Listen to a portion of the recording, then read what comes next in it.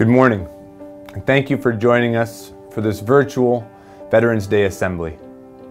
This day is important as we mark the sacrifice of those men and women who have served in our armed forces. Where I grew up, we called this day Remembrance Day. And I think about that word remembrance and what it means. This day of solemn recognition, day of solemn remembering the dead, those who have served their country to protect our freedoms. So, as we hear from our ASB this morning, from different members of our armed forces, we remember those who have gone before us in this act of service.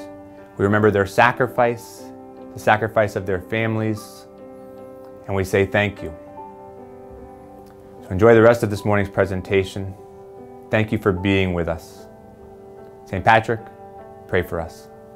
Let us begin as we always do. In the name of the Father, and the Son, and the Holy Spirit. Amen. Almighty God, you are our Creator and our light. You give us wisdom and our strength. Lord, you have inspired many of our best and brightest to volunteer and proudly defend our country. You have given us brave and loyal men and women who faithfully, who faithfully serve in our military. We gather today to remember and honor our veterans. We acknowledge that their service enables us to be a free people. We are reminded that it is due to their service that we live in safety. Lord, we also remember those who are currently serving. We ask that you provide them with your protection, your strength, and your peace.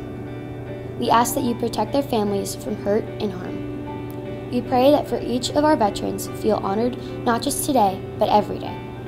Father, we also pray in a special way for our injured veterans. We realize that many deal with wounds that occurred as a result of their military service. We ask that they feel the healing presence of your love and the compassion of our grateful nation. And lastly, we thank you, Lord. For nothing is possible without you. We thank you for calling these courageous people to their service. We thank you, Lord, for our freedom and for the, women, for the men and women who have so bravely protected and defended it and continue to do so. We pray these things as always in the name of our Lord Jesus Christ. Amen. In the name of the Father, and the Son,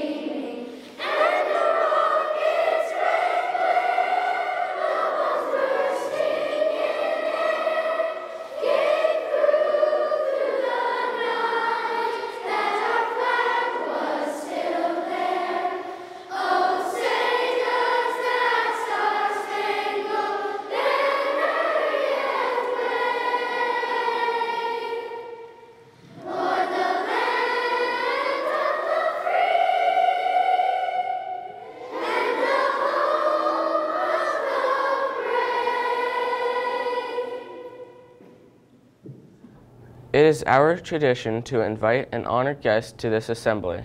Either a veteran or an active duty service member will address our school. This year, we are blessed and fortunate with multiple representatives of our St. Pat's School community share their thoughts on Veterans Day.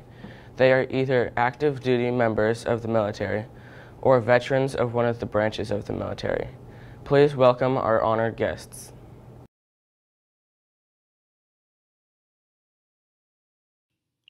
Hi, my name is Katie Matterson, and this is Emma. She's a fifth grader in Mrs. Shedd's class, and my son Peter is also a student at St. Pat's in Mrs. Couvert's third grade. Emma is going to ask me the questions from the from the uh, eighth grade Veterans Day questions, and we are going to answer them.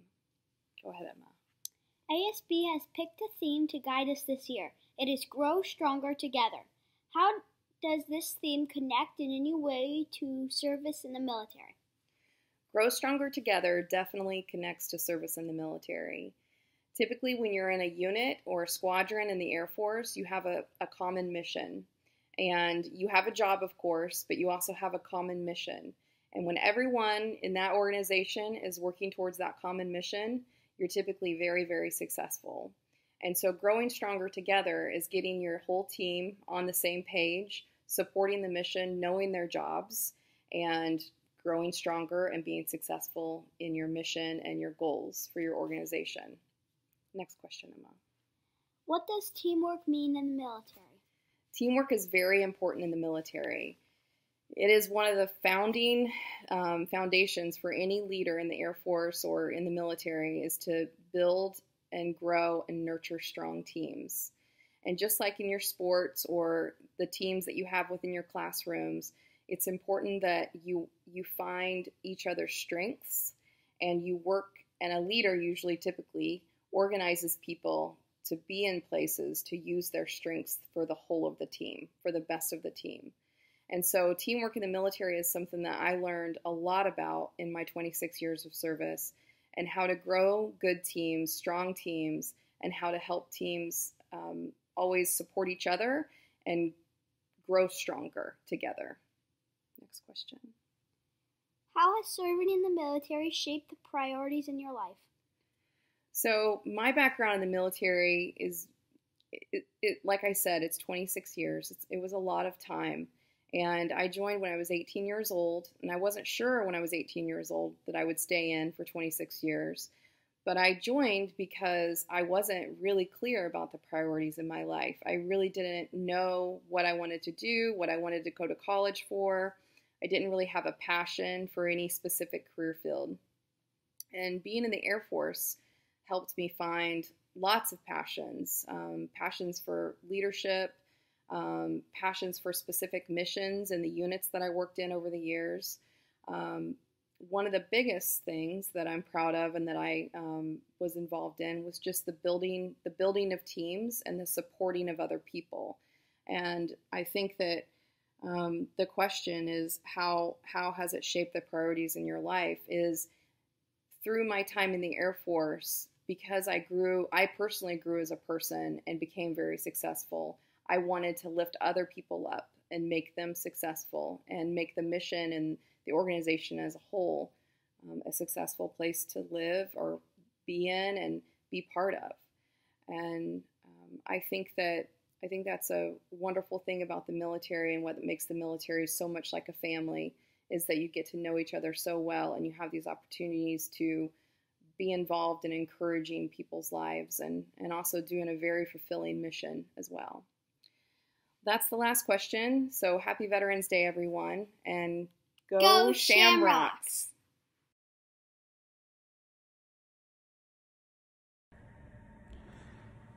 Hello, St. Pat's. My name is First Lieutenant Gadro, and I am currently an Assistant Intelligence Officer for Battle Group Poland in 3 of the 161 Infantry Battalion out of Camp Washington. So in my opinion, what it means to serve is to place the needs of others above your own. That means uh, making some sacrifices in order to make sure that our freedom and the American way of life can continue on, not only for our generations, but generations to come, here in the United States and in other places across the world.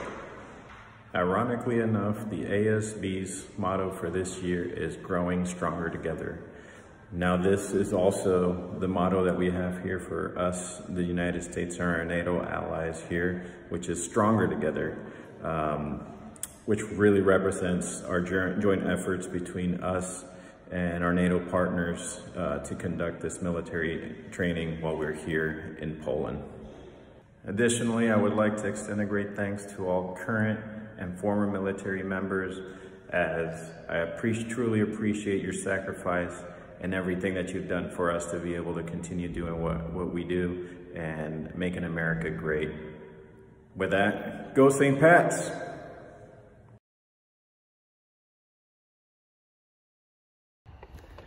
Hello, St. Patrick's School, and happy Veterans Day. My name is Lieutenant Colonel Dan Mangan. I'm in the United States Air Force. I'm a pilot. I've been in the Air Force for about 24 years. My connection to St. Patrick's School is through my two daughters who go to school there, and they're Anna Kate, who's in eighth grade, and Lila, who's in the fourth grade.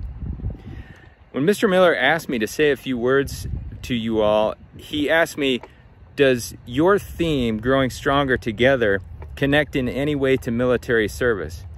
And I said it absolutely does. In fact, nothing could probably describe military service better than coming together and growing stronger as a team.